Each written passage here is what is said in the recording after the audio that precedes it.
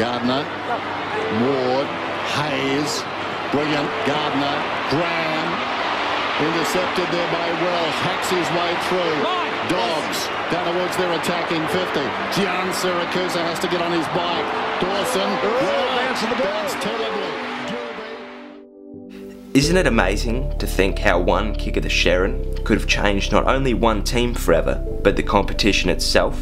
Some prime examples of that could be Lenny Hayes' kick to Stephen Milne in 2010, Matthew Scarlett's toe poke to Gary Ablett in 2009, or even something as small as a kick down the line in the dying moments of a game.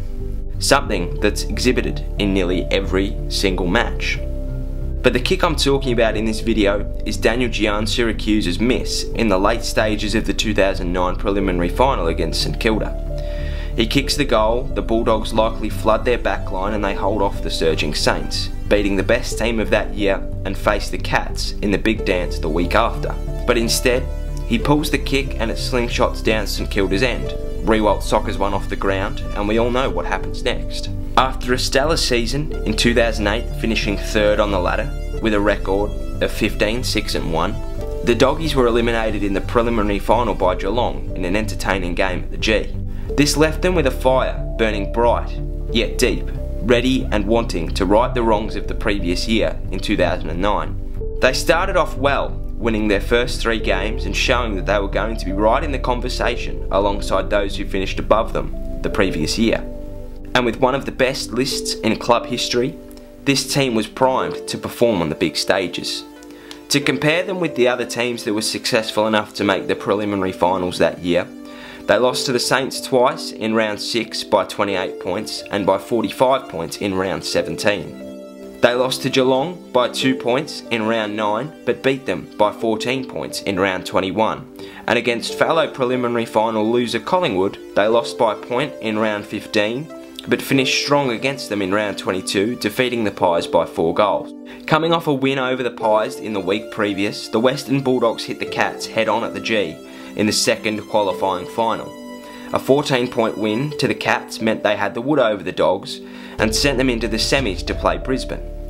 The Doggies arose to that challenge and put together a 51 point clinic against the Lions, sending a message to both St Kilda and Geelong that their loss the week previous only made them stronger. Higgins lines up and bends. This takes us to Etihad Stadium on a cold and wet Friday night on the 18th of September.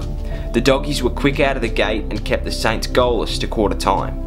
They held a lead to half time, but a sensational third term saw the latter leaders take the lead at three quarter time by under a goal. The Dogs started off hot, and a vintage Brad Johnson goal put the Dogs up, and there was a belief within this team. Nick Riewoldt put the Saints back in front 10 minutes later, and they led by two points. Enter Daniel Giansiracusa. Gets the handball over the top from Gilbee from 35 out, coming back, just misses to the left hand side. If that goes through for a goal, ball goes back to the middle, and the Dogs flood their defensive half, making it impossible for the Saints to score and win the game. In reality, a congested ball makes its way forward, pack flies Montagna to Riewoldt, guess who?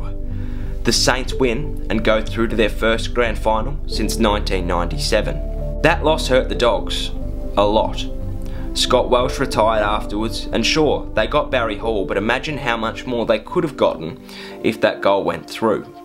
They could have beaten Geelong. Absolutely, they could have.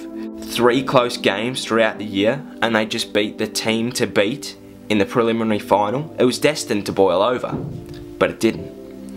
In 2010, the Dogs returned to the finals, again fourth, but this time there was something missing. They were belted by Collingwood in both week one of the finals and in the first round of the season. Club legends Brad Johnson and Nathan Eagleton retired, Jason Akermanis sacked. Their CEO left and the decline of the Dogs began. In 2011, they finished 12th. In 2012, they finished 15th. We all know what happened in 2016, coming from 14th in 2015 and winning the flag from 7th. And that's still a massive achievement, but how much different could it have been? The Dogs win the Premiership in 2009, Barry Hall arrives, maybe Scott Welsh doesn't retire, maybe Daniel Cross doesn't go to Melbourne at all, and maybe, just maybe, the Dogs return to the top of the mountain for season 2010. It's amazing how many situations are faced with a what if. what if this or that, and it's interesting to think how things could have been different as opposed to how they turned out. Sometimes all it comes down to is how many times the Sherrin spins. It's over. It's all over. The drought. The dam wall is busted. It's 62 long years.